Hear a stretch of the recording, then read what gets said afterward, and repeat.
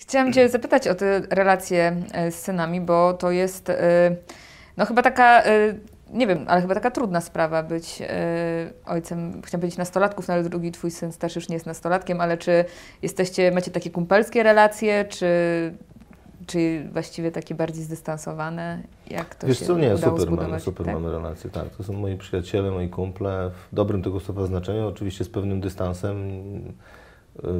Wiadomo, że, że, że, że ten dystans musi być, jakaś tam hierarchia, prawda, w stadzie, Mhm. ale nie, no to są, to są ludzie, z którymi świetnie się czuję i świetnie się rozumiemy i ja im zawsze poświęcałem bardzo dużo czasu, zawsze wychodziłem z założenia, że z dziećmi trzeba być, spędzać każdą wolną chwilę i tak też zawsze robiłem i myślę, że to w jakiś sposób teraz procentuje, to znaczy no, jesteśmy rzeczywiście, mamy silną więź bardzo. A oni mają jakieś e, takie inklinacje aktorskie?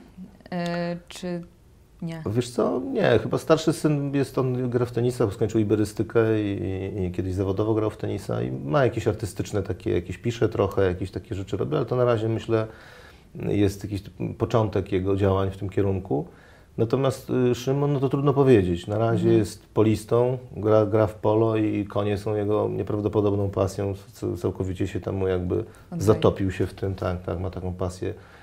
Co jest świetne, bo odrywa go to od tych rozrywek powszechnych wśród młodzieży, czyli od tych właśnie tych telefonów, tych gier, tego wszystkiego. No w ogóle tego problemu nie mam, bo on spędza każdą wolną chwilę po prostu na powietrzu, na dworze, wśród tych zwierząt, także to jest super, to jest bardzo fajne. I Jest to szkoła życia niesamowita i charakteru, bo to nie jest tak, że on się ubiera w ładne, w ładne ubranko i wskakuje na pięknego, wyczyszczonego konika, a potem z niego zsiada z y, lekko tylko przekrzywionym krawatem.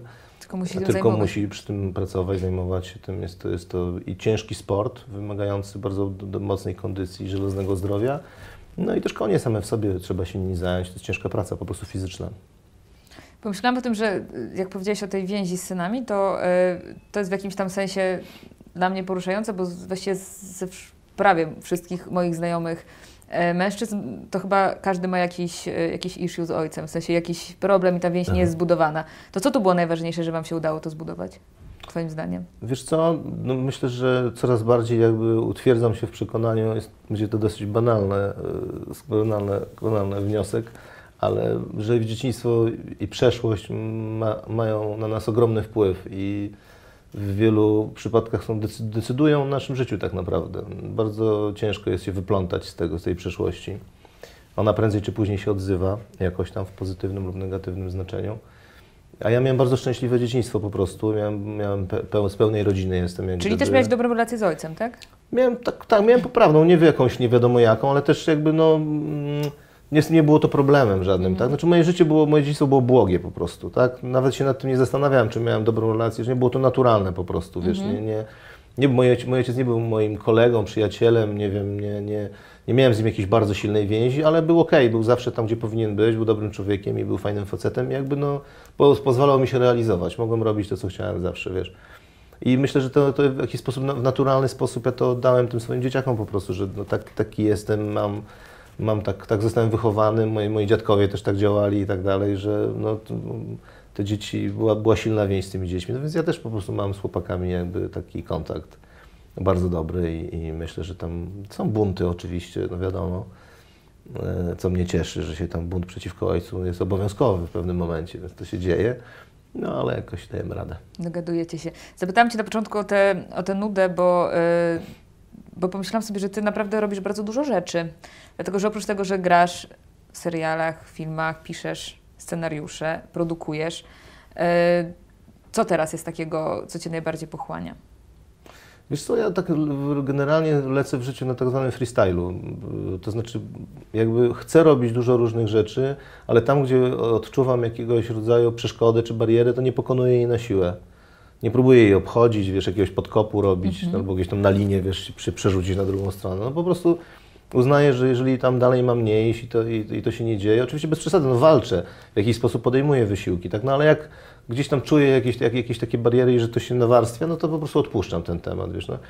Próbuję różnych rzeczy, jedne po prostu się, się jakby kontynuują same. Na przykład aktorstwo jest czymś takim, co ja nigdy nie traktowałem tego zawodu poważnie, mówiłem o tym wiele razy i uważam, że nie należy go traktować poważnie, bo jest niepoważny po prostu z samej swojej natury. Jest jakaś zabawa, jest to przywilej, że możemy być aktorami, bo to jest naprawdę fajne życie, jeśli ma się pracę. Jest to taki rodzaj matrixu, który ja uwielbiam, wiesz, bo jak dużo pracujesz, jesteś na planie, i wcielasz się tam w jakąś postać i funkcjonujesz w tym dziwnym świecie tych ludzi, którzy, wiesz, tych, tej ekipy filmowej, no to jesteś całkowicie odseparowana od rzeczywistości. Całkowicie. Jesteś w jakimś zupełnie innym świecie. Wiesz, przestają istnieć rachunki, przestajesz myśleć o tym, czy zatankowałeś samochód, czy nie, I wiesz. to też no. jest takie resetujące w pewnym sensie, nie? Mm, To, no, jeżeli ktoś ma dystans do tego, to, to, to, a ja mam, to w moim przypadku jest. Ja to lubię i to mnie nie, jakby nie, to mnie nie stresuje, to mnie nie blokuje, tylko no po prostu lubię, dobrze się czuję. No oczywiście wiadomo, że są na planie sytuacje, ludzie, z którymi się gorzej pracuje i tak dalej, no i wtedy jest, jest, jest, jest trudniej, no ale to tak jak w życiu, prawda? I wiesz, i, i nie wiem, no i teraz przyszło do mnie coś takiego, i to aktorstwo do mnie zawsze wracało. Zawsze starałem się go nie, nie robić, bo uważałem, że to jest zawód nie tyle głupi. Kiedyś myślałem, że jest głupi, ale teraz uważam, że to było, że to było błędne podejście, bo jest tak, jest tak samo głupi albo mądry jak zawód lekarza, czy wiesz, czy kasjera w supermarkecie, czy, czy kogokolwiek innego. Zależy od podejścia i od tego, jak nam te, w tym idzie w tej pracy. E, ale on do mnie zawsze wracał. Zawsze, wiesz, jak próbowałem odejść gdzieś bardziej jakoś, coś robić innego, czy w biznes, czy w jakieś tam reżyserię, czy coś, to ten zawód zawsze do mnie wracał. Zawsze przychodziły najlepsze propozycje, najmocniejsze propozycje przychodziły wtedy, kiedy ja już byłem właściwie, się żegnałem z tym, wiesz. No, czyli uznałem to też za jakiegoś rodzaju... e, Znak. No taki Coś takiego, coś takiego, jakiś dotyk przeznaczenia, że wiesz, że po prostu no, no, no, trzeba iść może w tą stronę rzeczywiście. Teraz nie wiem, mam, yy, mam nadzieję, że, że coś z tego wyjdzie. Wiesz, poznałem na, na planie serialu Leśniczówka, w którym gram Maćka Żaka, no, to reżyseruje, jest niesamowitym facetem i reżyserem też naprawdę bardzo ciekawym. Nigdy się nie spotkałem z takim sposobem, wiesz, z takim podejściem do reżyserii, z takim sposobem inscenizacji. Naprawdę dużo się przy nim nauczyłem. Nie spodziewałem się, że już coś mnie zaskoczy w ogóle w tym od tej strony, a a on naprawdę no, bardzo, bardzo ciekawy jest. No i ma jakiś projekt filmowy bardzo interesujący i jakoś tak coś nam się zaczęło udawać w, w tym sensie, że ja, y, że ja być może będę producentem tego, tego, tego filmu, to jest film fabularny. Ale zobaczymy, jak się to potoczy. Też nie, nie mam, wiesz, jakiegoś takiego podejścia, że muszę to zrobić, bo, bo się uduszę, no tylko po prostu...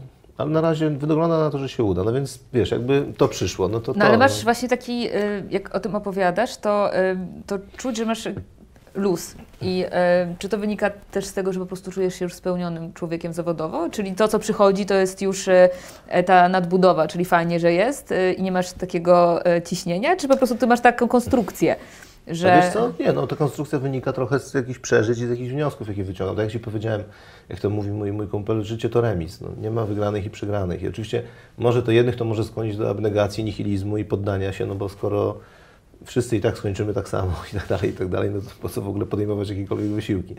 No ja wychodzę z jakiegoś z nieco innego założenia. Mam tam jakąś swoją duchowość też taką prywatną, która pozwala mi gdzieś tam jakoś to właśnie zatrzyma, zachować jakąś równowagę. No i wiesz, no i podchodzę do tego tak, tak że po prostu no, nie obrażam się na rzeczywistość, jeśli coś się nie udaje, tak? Walczę, robię co mogę, no ale jak, jak mnie zatrzymuje coś w jakimś momencie, no to trudno. No.